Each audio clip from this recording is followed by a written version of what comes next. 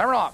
Granville Whitey on the outside right for the lead. There goes Espo and Two Can Do. Into the turn they race and Espo. He's on the inside, but Granville Whitey moves at him on the outside second, but Espo now sprints clever length. It's Granville Whitey in second, two lengths, Two Can Do. In third, now by three lengths, Herman the German, followed by Red Fireball. It's Brent Starred Lad and Travel on trailing, and your leader by the quarter is Espo. It's Espo a length and a half.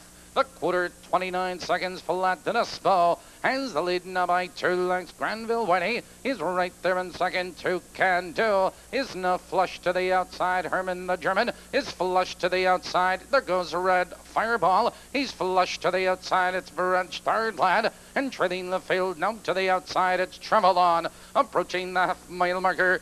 Two Can Do He's up now to challenge and take command. It's Espo back to second, but Herman the German moves at the leaders on the outside. 59 and 2 and Two Can Do. He's on the outside, but Espo is coming back and Espo regains command. On the inside of horses, Granville Whitey is there. Herman the German. It's Red Fireball. Now they curve into the back stretch, approaching the final corner. It's Espo with the lead. It's Two Can Do in second. Here comes Red Fireball. Now for third, moving second. Red Fireball now explodes into command. They're moving by the three-quarter mile mark and Red Fireball is opening up the lead now by four lengths. On the outside, it's Two Can Do, Herman the German, followed now by Espo. They're in the final eighth double mile, and Red Fireball opens up the lead now by six lengths. Here they come, turning for home, and Red Fireball is all by himself. It's Herman the German at a stun second, followed by Two Can Do.